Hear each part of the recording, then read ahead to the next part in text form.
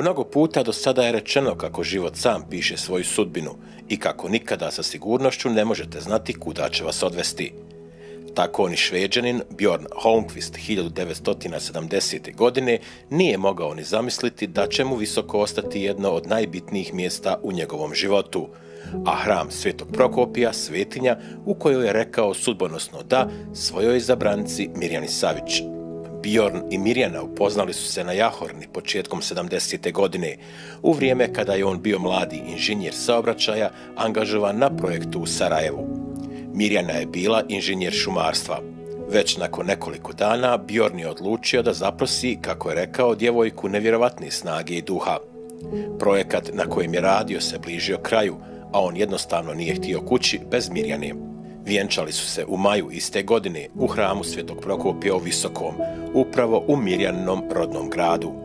Iako je Mirjana Savić sa svojom majkom Vidosavom veći dio života živjela u Sarajevu, u Visokom je obavljeno vjenčanje jer je veliki broj rođaka živio tu. Nakon vjenčanja otišli su u Švedsku, dobili troje djece i izgradili dom.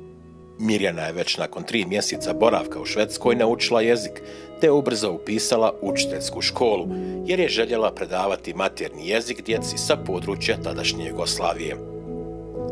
Majka troje djece uz muža i ostale obaveze svaki dan je provodila po tri sata u vozu putujući na predavanja kako bi u roku završila učiteljsku školu.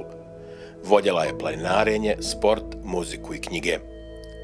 Živjeli su sretno sve do 2002. godine kada je Mirjana preminula od karcinoma.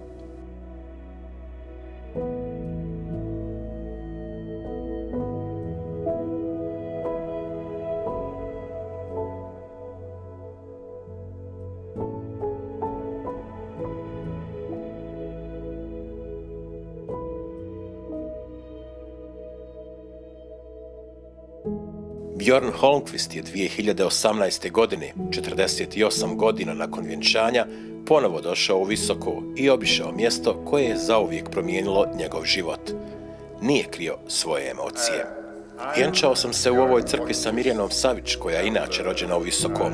Upoznali smo se u Sarajevu, gdje sam radio kao konsultant na izgradnji puteva, odnosno, ako ćemo tačnije, upoznali smo se na skijanju na Jahorni u februaru 70. godine. Već u maju te godine vjenčali smo se u ovoj crkvi u Visokom. Poslije toga smo imali zajednički život u Švedskoj. Dobili smo troje djece te šest unučadi. Moja supruga je iznenada preminula 2002. godine, ali sjećanje na nju i dalje živi i zaista sam sretan što sam ponovo u ovoj crkvi. U ostalom, nisam u njoj nikako bio još od naših vjenčanja. Osjećanja su pomalo čudna. Pred očima su mi slike našeg vjenčanja, kompletnije ceremonije, sveštenika, stvari koje do tada nisam znao, zbog čega sam bio i pomalo zbunjen. Ali bilo je zaista lijepo. Bilo je dosta naših prijatelja, rodbine iz Švedske, koja je bila sa nama i zaista imam lijepo sjećanje na sve to.